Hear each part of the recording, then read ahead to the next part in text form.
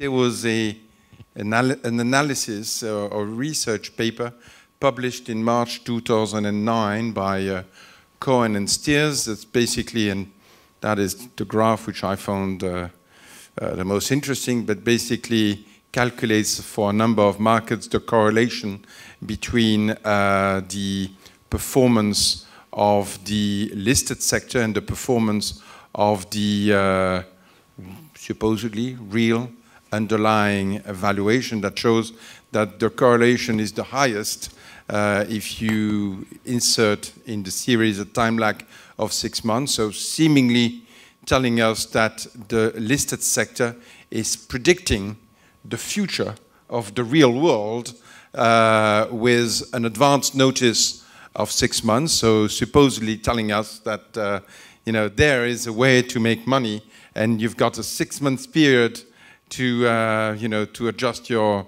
your portfolios. It's too many people, I think, believe that valuation is a one figure that is that comes out from a sort of black box, supposedly a science. I think valuation is not a science.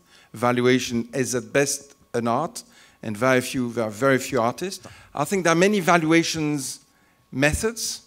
Um, there are there is a tendency for in a number of countries to try and say that valuations should be done what I call on a marginal basis. So the valuation of companies should all be done at the marginal valuation, uh, at the marginal values at witnessed by a few transactions. I think that also is a mistake. I'm a strong believer or a strong recommender that valuation should be done, should be based on long-term operational values, because at the end of the day, that is what many of the investors uh, in listed securities like about real estate, that it be a proxy for the underlying and that it be a proxy for an ability of a number of companies to transform uh, revenues, to transform rental revenues into dividend.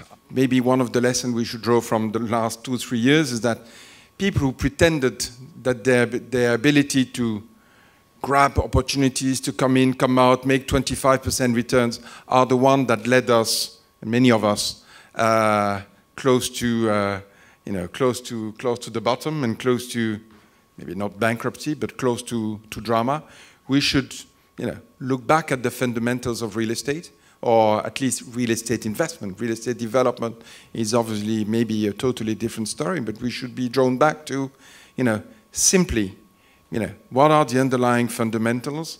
What is the ability of each and of each of the company to transform in, uh, you know, to create a dividend, a stable div stream of dividend, while at the same time at least protecting the capital, hopefully providing capital appreciation. Keiko, um, in, in your country, uh, you were experiencing um, already some problems 10, 15 years ago. Um, uh, what can we learn from, from you, your country, uh, your listed property markets? Education we had is, yes, the um, conservative variations and conservative companies are only survivor at the moment. What does it mean?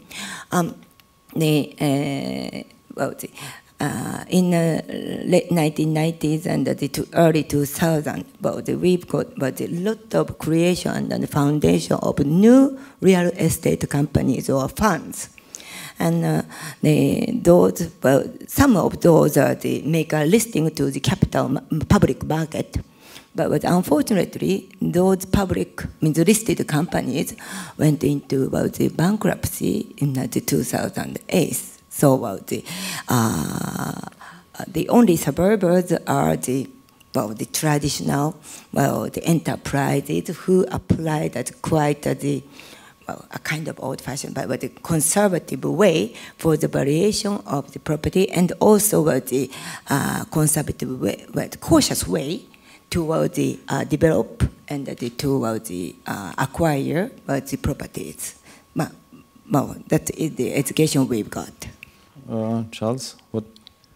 Yeah, well, um, I'd like to say, you know, reiterating what uh, some of the other panel have said, uh, we're going back to basics or back to fundamentals, but I think we're going to see fundamental changes, uh, some of which have already been borne out in deleveraging, others of which are still uh, que large question marks.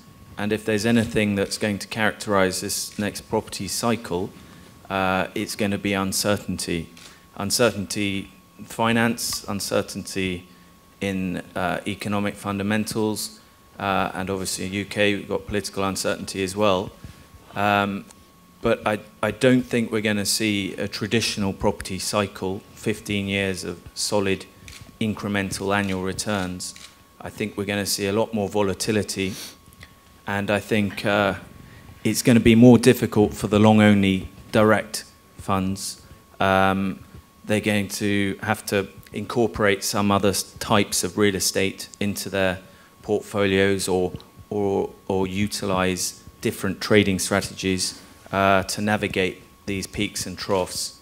You coming from Credit Suisse, um, looking at uh, the last two, three years and what's happening right now again in London, uh, do you think that this industry of listed properties is now getting conservative, learning the lessons from the last two years, only taking 40, 50% leverage and being the stable income producing investment? Well, if I had to summarize it in, in one word, right, I, I, would phrase it, it's maturing. Um, look at um, Germany and Austria, you know, two markets you're also familiar with. Um, I, I, don't really think, you know, compared to to the UK or to the Benelux countries, for instance, um, I don't really think um, you know we, we can speak about one European listed property segment.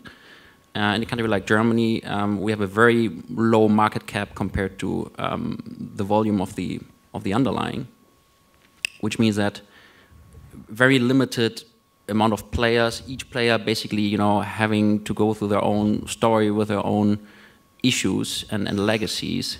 So there's um, I guess we simply lack of, of statistical evidence in certain listed market segments because it's so it's so small. Taking it from there, um, yes, deleveraging has been has been already mentioned here um, by Charles. It's it's one pattern. Um, everything you know that focuses on on sustainable cash flow generation that is also going to be distributed to shareholders is probably the second pattern. And um, I guess the, the, the major um, differentiation will be by anything that is going to define by quality. You know, quality of the management, um, quality of the of the property, quality of the business model. Um, that is what what is what is going to be the difference. You know, compared to the last listed property cycle we've seen.